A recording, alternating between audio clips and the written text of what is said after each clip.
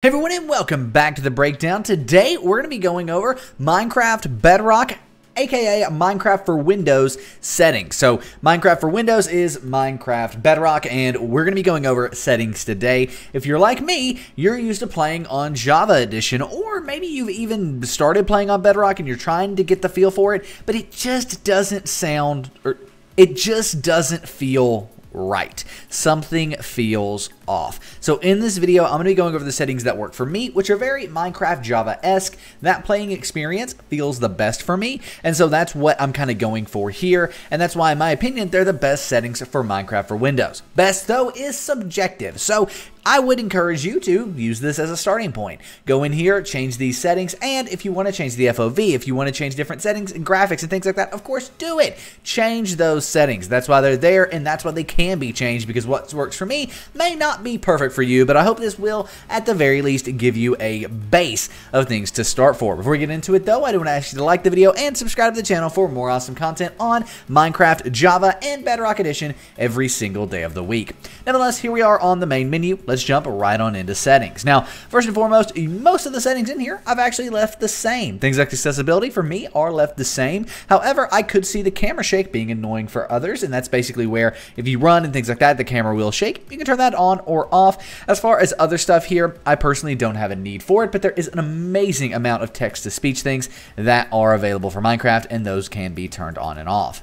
From there, we can move to keyboard and mouse. That's what this setting is for. It's for keyboard and mouse. Controller settings, touch settings, they don't apply to me on Minecraft for Windows. I'm going to be using a keyboard and mouse, and I found these settings were very similar to touch controls, even though it just didn't work.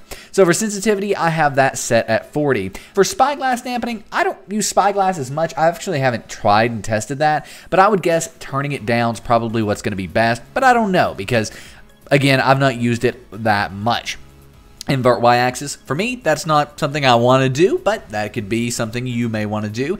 But auto jump is something that a lot of people love and a lot of people hate. For me, I like to control when I jump, especially for doing recording. It can make it a lot easier for me to not have to, you know, like auto jump on something. I may want to control when I'm jumping, and that's why I have auto jump turned off. You can also turn it on.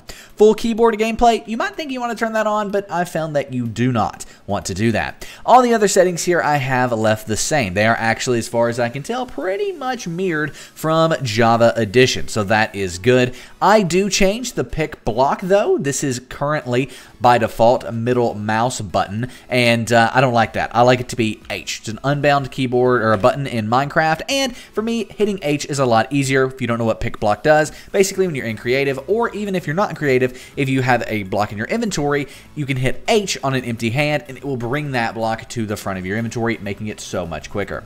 From there, there's pretty much all these are the same, right? Controller touch, would not touch those at all. Profile, that's up to you. Creator, not what we're talking about in this video, but video settings, this is what I have. And again, all 100% up to you, but the FOV is the one thing that I had to change drastically for the Bedrock Edition to actually look good for me.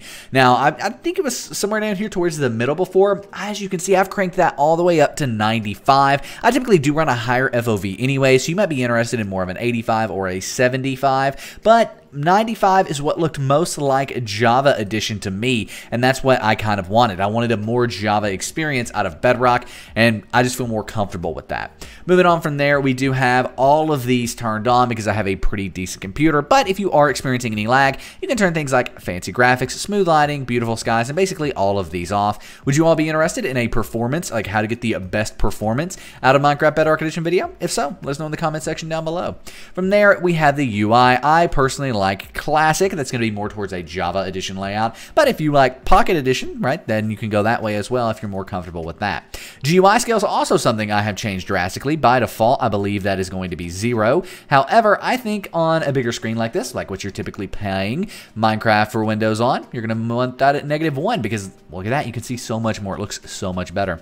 Render distance is also something that you are going to be basically depending on what your computer is. Some people will be able to run 72. I can run 72 when I'm not recording, but when I am recording, I have to run 40, right smack in the middle. Some people with very, very bad computers might have to run 8 chunks, so it's all depending on your computer. Same thing with anti-aliasing. You're going to get the best performance. The anti-aliasing is set to 1, but for me, I run it right in the middle when I'm recording and can run it at max when I am not. So nevertheless, that's kind of that. Audio settings, that's 100% up to you. I personally never play Minecraft with sound. I know I'm weird, but that's the case. And that's kind of that. That is the of Minecraft Minecraft Bedrock Edition. If you are new to Bedrock Edition, though, you may be interested in this story tab, or storage tab, excuse me. You may be interested in the storage tab here, because in here is where you can manage your worlds. You can delete worlds. You'll also, if you have any resource packs, texture packs installed, you'll be able to manage those as well, as well as other different, you know, behavior packs and things like that. So there you have it. That is my Minecraft Bedrock Edition settings. And what that's going to do is give you a layout that to me feels very, very Java Edition, which again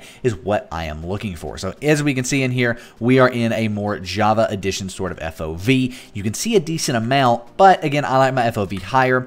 You may find your FOV happy place to be a little lower than this. So let's go ahead and drop this down to, let's say, a 75 5 here.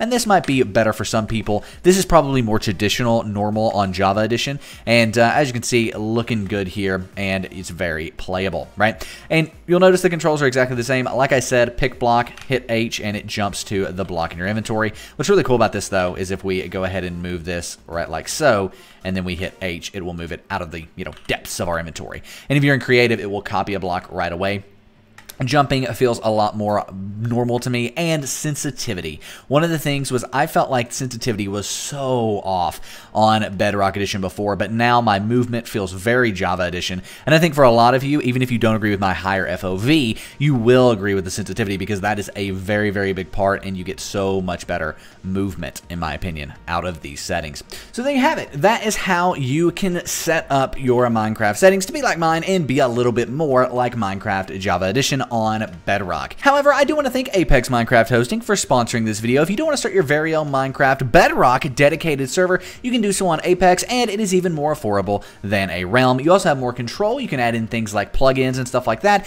to a Minecraft Bedrock server using Apex Minecraft Hosting. You can check out the first link down below, the breakdown.xyz slash Apex to start your very own Minecraft server. Thanks to them for sponsoring this and all of our Minecraft videos on Bedrock Java, all of them. They are an amazing channel sponsor. So thank you so much to Apex for doing that. Nevertheless, my name is Nick. This has been The Breakdown. If it did help you get your Minecraft settings in tune, give the video a thumbs up and subscribe for more incredible Minecraft content every single day of the week on both Bedrock and Java Edition. Anyway, again, my name is Nick. This has been a long outro, and I am out. Peace.